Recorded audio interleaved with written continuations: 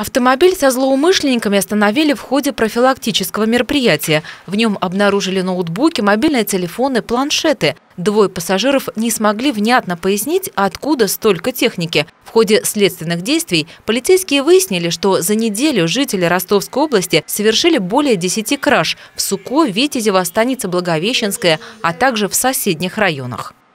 Ущерб от преступной деятельности составил более 300 тысяч рублей. Целью злоумышленников были мобильные телефоны, планшеты, ноутбуки, ювелирные изделия, э, наручные часы, а также денежные средства.